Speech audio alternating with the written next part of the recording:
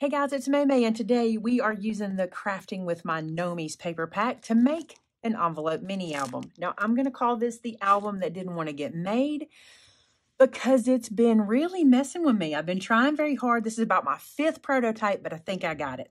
So here's what you're going to need. You're going to need six envelopes. I'm using five by sevens. You're going to need two that you do not slice. Okay, so no slice. Two that we're going to slice on the left-hand side and two we're going to slice on the bottom. Now, I've made these notes for myself so I don't forget, okay? So the two with no slice, I'm just going to put them away. The two with the left-hand slice, let me show you what that means. I'm going to grab my trimmer. The reason I'm doing the slice is because they're going to be pockets in the finished album. Okay, so these are my two. Look, I'm even using my note, my left hand slice. So looking at the envelope, okay, with the flap at the top, this is your left hand side. So that's what we're going to slice today. So I'm going to lay this on my trimmer and I'm going to take off the least amount I can. But what I want you to pay attention to is whatever you take off of this one, you take off of the other ones, okay? So literally, I am laying this to where it just lays over my cut line. I'm going to sink my blade. I'm going to go up and then down. And let me say this to you, take your time. If you try to just push that blade through, you'll get a wrinkle and you don't want a wrinkle, okay? Now, don't worry about anything else. That's all we're doing right now, okay? So we're gonna do two envelopes like that. It'll be a little weird at first, but by the end, it'll all make sense. It's just, I just had a weird moment. This album has not wanted to be made, so all these little things I'm doing have turned out kind of serendipitous. Look what I just did, almost the wrong side. Remember, flat facing you, left hand slice. Make sure you pay attention. I bet y'all were. You're like, wait a minute, you're not following your own instructions. All right, up and then slowly down. There we go. All right, so these are my two left hand slices. So I'm going to keep them marked as such. I'm not real good at this. I will forget if I don't. Now, these are my bottom slices. So the same thing, I want to look at the envelope like this with the flap at the top, and this is the bottom. So I'm going to take off the tiniest little bit. I'm really just opening this envelope up, okay? These are not going to be as hard on the end because you don't have the little flap to cut through, so this is pretty easy. So put that over there. Same thing here, flap at the top. Lay it just over to my cut line.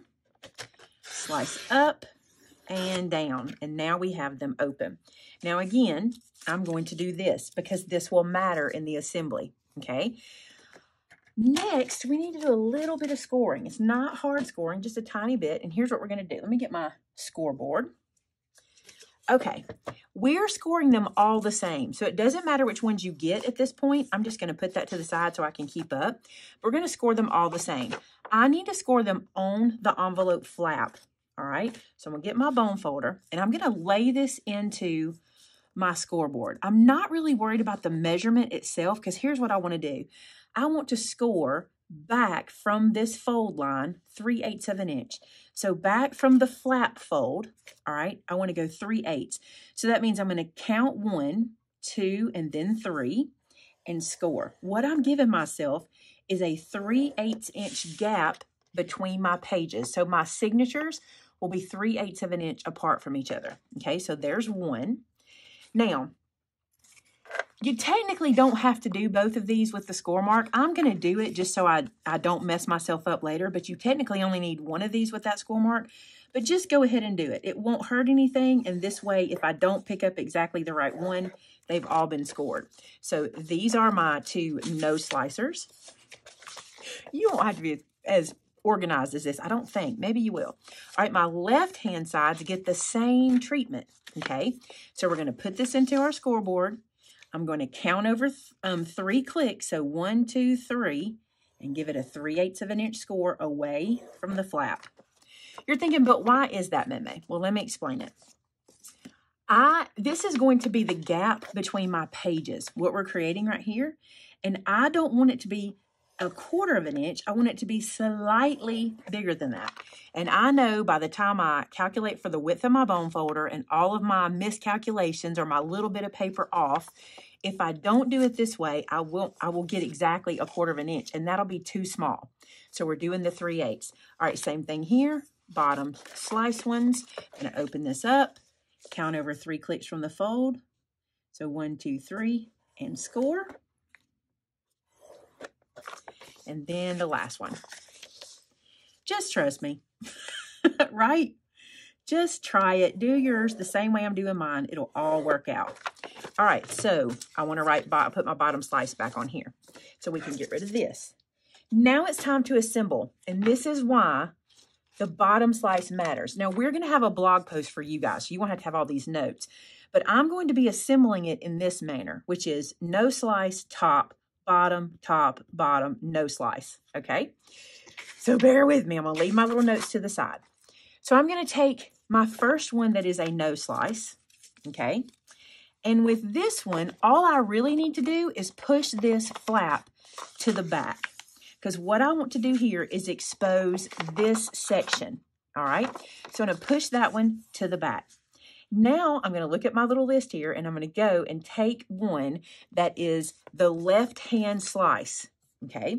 So I'm taking one that is a left-hand slice and I'm going to push this flap, but I'm going to crease it as well on my fold line.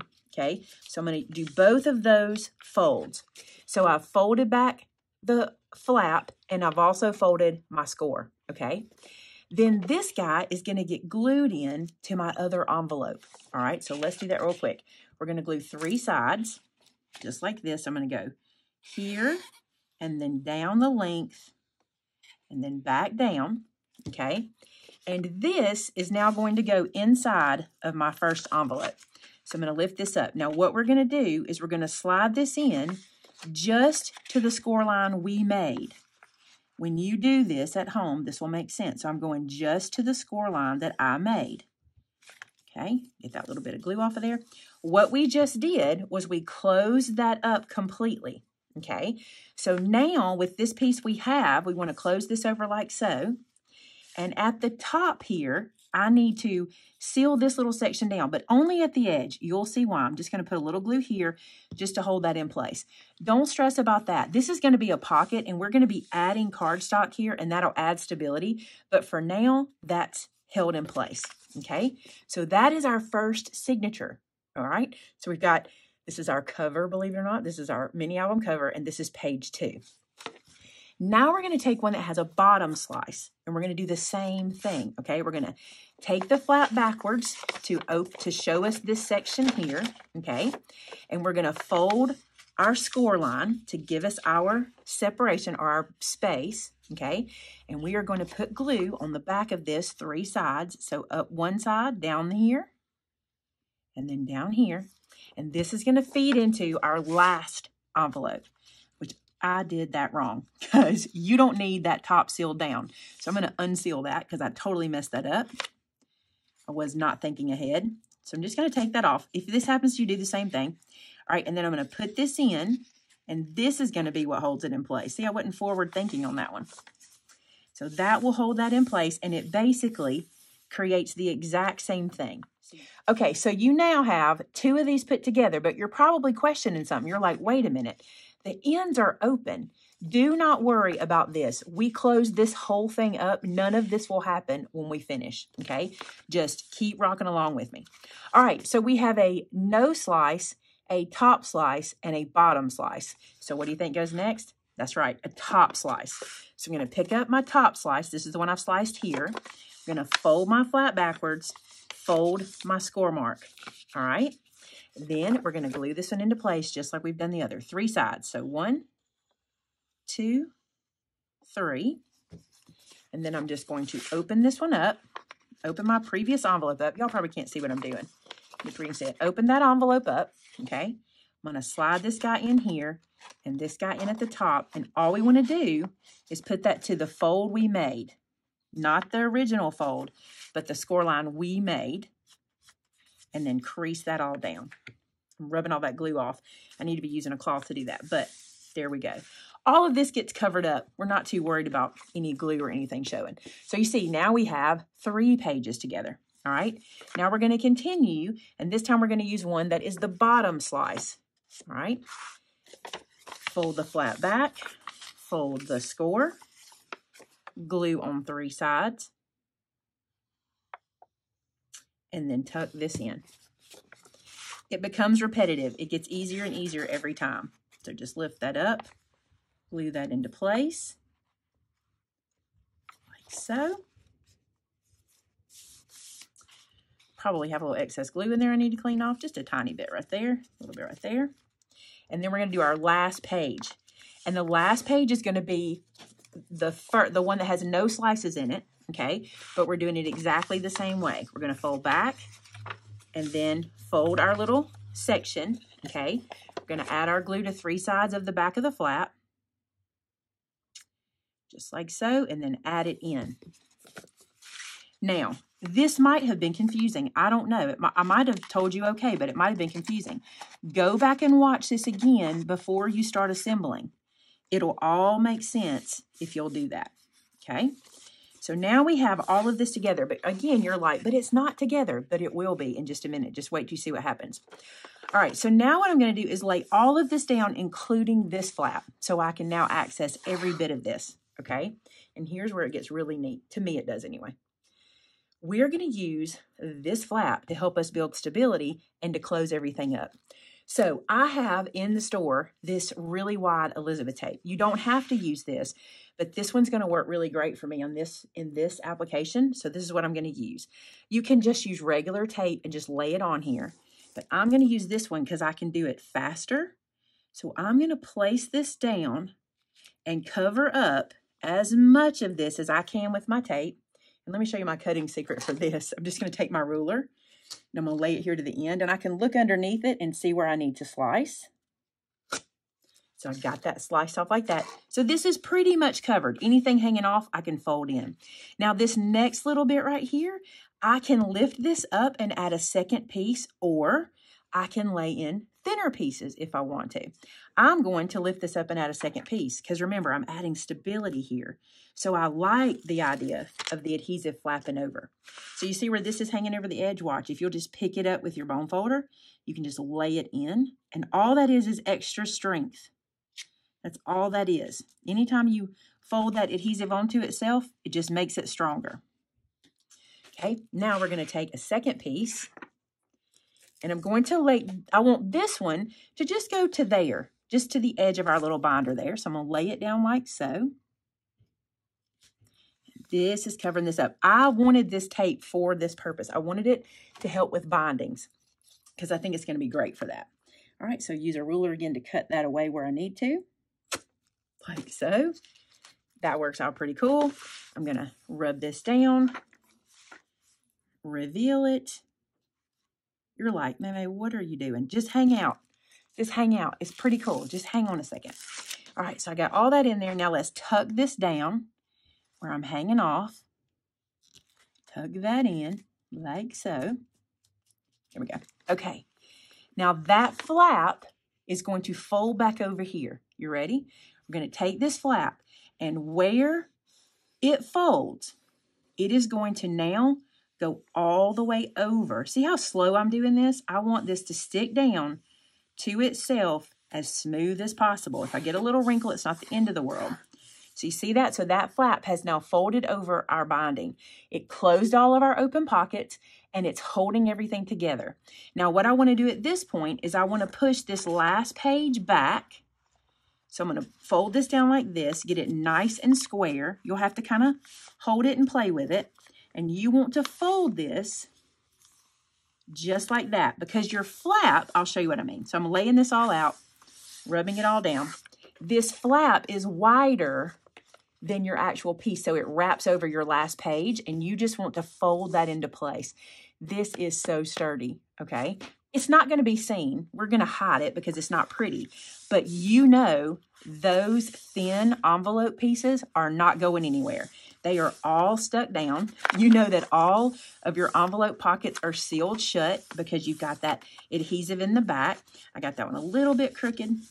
Now, let me show you something. You're the boss of paper, okay? So if you have these little wrinkles, just rework it. Just roll that out and just tell it to fold in a different place and it'll lay down better for you. And then this one I'm going to do one more time, just like so. Now there is one place we ended up not sealing only one spot, and that is right here, okay? You really don't have to worry about that because we're going to cover that with cardstock. But if it concerns you, if you're nervous about it, you can just add a little glue in here. Again, it won't matter. And the reason it doesn't matter is because this is not a pocket page. Okay, so none of that makes a difference. All right, so how cool is that? I love when we can use, it's not supposed to stand up. I was just doing that. I love when we can use every little bit of our envelopes. Now you're thinking, but it's not going to look cute. It is, because here's the deal. I'm not even going to add chipboard covers to this. I want this to be super easy, okay? So this piece and this piece are going to make our covers on our back. We're going to add a chipboard spine, and then we're going to have pockets in the top and pockets in the side. Super cool, right? All right, let's do our chipboard spine area. Now, normally I would give you a measurement here. But let me tell you why I'm not giving you a measurement. Your spine, no matter how perfect your score marks are, is not going to be exactly the size of mine. It never is. And mine is probably not an even number because I use um, eights, remember? So let's measure. So mine lands at uh, 1 and 5 eighths. So could I cut some chipboard 1 and 5 eighths? I could. But instead, here's what I'm going to do. I'm going to trace my spine onto my chipboard. So I'm laying it flush on one side over there. And I'm going to lay that down. And I'm going to trace this and cut exactly what I need for this particular album. Because I don't want a lot of hangover. I want it to really just fit. So I'm going to slide this guy up to the edge. Then I'm to trace the bottom. So when we take this off, we'll see what we need. Even though I went a little crooked, I'll just straighten that out when I put it in the trimmer. So I'm making my spine custom. Now, you probably want to do that too, because like I said, no matter how perfect you cut, no matter how, no matter how perfect your envelopes are, you know, just like mine or what have you, they're not going to be exact. Okay, so now I'm just going to take my chipboard trimmer. I'm just going to cut through that. And I probably need to take it on the back side too, but let me get some of this length off real quick. And you can totally do this with your scissors. I'll show you because with your scissors, I mean, it's not hard to get to, right? I think that end's almost cut through. I'll just use my little snips. You literally could just cut this with your scissors. You don't even have to use a trimmer for it. So this means you can use your chipboard scraps, you know, that you just have laying around. It's a perfect place to use it. Now, don't worry about the chipboard because you think we're going to see it. No, we're going to cover it up. You're probably thinking, where are your long scissors? I don't know. That's why I grabbed those because they're not laying here next to me. Okay, now we want to cover this. All right, and now here's what I'm going to do. I'm going to kind of look at what width I'm looking at here, okay? I like to have a half an inch on both sides to be able to wrap over. So what I'm going to do is take my Tim Holtz ruler and lay it a half an inch off and then come over here and see what's half an inch on this side. And because I don't want to deal in eights, I'm just going to go to the next biggest mark, which is two and three fourths. I don't care if I have extra to wrap over. I just don't want too little. Okay. So two and three fourths. And then on the end, I'm going to do the same thing. I'm going to add half an inch here and then half an inch here. So this one I'm going to cut at eight and a half. So two and three fourths by eight and a half. Now I'm going to make a note of that for myself. Now we're going to put these measurements in the blog, but you need to measure, okay? You need to make sure you're using the right size for you. So let me cut a piece of cardstock. So this piece is two and three fourths by eight and a half, and I want to caution you about something. The photoplay paper that I'm using, the gnome paper, is not quite thick enough to do this job. And the reason it's not is I found when I score it, it cracks really bad and I don't want that to happen on my spine. So I decided just to cover it in black and then if I want to decorate it, I can. And I do kind of have an idea, idea about decorating it. So I'm just going to cover this in black and it'll match everything and I won't have to worry about it cracking funny on the edges. Okay, this guy needs to get glued down to the middle. So I'm just going to wet glue this down. There's no reason to use all your tape here. So let's just put some wet glue. This is just holding this piece in place for us. So this will work just fine. And what I want to do is just kind of center this. Just eyeball center it. It doesn't have to be perfect. We're just covering this whole piece up anyway. All right, so I'm just going to do that like that. Do that like that. I'm going to flip it over and roll it out like this. Perfect. Now what we want to do, I'm going to close this up because I'll probably use sticky tape for this next part. All right, now what I want to do is miter these corners and take some of this bulk out here on the bottoms and on the corners. So here's how I do it. I want to stay about the width of my scissor blade away, okay? So I want to leave about a 16th to an eighth of an inch away and cut that point or that edge, okay? Let me lay that where you can see it. What this is doing is taking all this thickness out of the corners that you don't need. But the reason you can't cut straight to that cardboard is because if you do, your cardboard's going to show. Now, if that doesn't bother you, or if you plan on inking it or something like that, then cut right to it. But I like to leave myself just a little space there so I can cover it up. All right. Now, let's add tape. You could have added tape beforehand, but I just typically do it like this. I just kind of add it at this point. And you can put it directly here. Watch this. We can just lay it here and know that when we wrap this over, all of the paper will have adhesive on it. Or you can put it on your flaps. But for me, this works just fine. So I'm going to make sure I have it all the way around. You can see that my liquid glue kind of curled my chipboard up. That'll all go away. Don't worry if that happens to you too. Don't even stress because you're going to be putting it on that spine we've already created that has a pretty good bit of stability already. All right, so now, very important thing. I told you I used this particular card um, cardstock so I wouldn't get the cracking, but I'm still going to score it. So I'm going to come right beside the chipboard, and I'm going to use my bone folder, and I'm going to score that, okay? And I'm pushing really hard. You saw how I slipped pushing really hard because I'm just scoring this down onto my firm surface. You could put a mouse pad under it or something if you wanted to to get like a deeper score, but this will work just fine. All right, so now I'm going to take the paper and I'm just going to slowly and easily press that over. And I get such a better fold here. With the photo play, I was getting cracking when I was trying to cover some chipboard, and I don't want cracking on my spine. So go slow and kind of work it to let those fibers move. You could even um, you could even fold it one way and then fold it back and fold it again so you get even a better fold. But I'm just doing it just like this to get us going. And then we're going to reveal our adhesive and stick that inside to it. All right, so now let's pull all of this off. If yours cracks, it is not the end of the world. I did not like how it was looking with that paper when it was cracking. And I tried inking it and I just didn't think it hit it enough. So that's why I decided for my spine, we were just going to use a solid piece and something coordinating that I knew wouldn't crack too bad. All right, so by the way, this is Brutus Monroe Raven. All right, so I'm going to fold these pieces in like so. And then bring these pieces in to their adhesive. Isn't that easy? If you put the adhesive on there, you know everything's getting tape on it. I'm going to rub this down to burnish it down. And that becomes our spine. Now, here's the thing. You don't have to put this on yet. You can wait if you want to. Okay, this is going to get glued right here. And see how great it's going to fit because we, we sized it just for our book. This is going to go right there. I'm not sure if I'm going to wait. I might wait. I don't have to wait, but I might wait and see what happens. Why don't I do that? If you want to go ahead and glue this down, you can, but I think I'll wait and decorate the book and then put my spine on and see how that goes. I've never done it that way, so let's see what happens together. Now you're thinking, May May, why did you not put covers in the back on? Listen, I thought this thing through and I think it's going to work fine. So stick with me for part two when we start decorating the book and then we eventually put the little spine on because that's where it's going to live. And I don't think it's going to need a chipboard cover in a back. Now, why am I doing it that way? I don't enjoy adding chipboard covers. They it's a lot of work. Sometimes they don't do really well. They're not always my favorite. I've done them a thousand times. We'll make sure to put a mini album playlist for you guys to be able to watch. But I just want to see how this does. I've made lots of albums where I don't do chipboard covers, and I just wanted to see how this one in particular would do. All right, guys, that is step one of the mini album that didn't want to be made. I'm literally calling this one that because it did not want to be made, guys. I hope you enjoyed this one. I hope you get to this part with me. And then step two will come out Saturday where we'll start decorating and then we'll add our little spine piece. But again, I think it'll be cool to decorate it and be able to lay everything nice and easy before I add this spine. That might get a little bulky. So we're going to wait on that.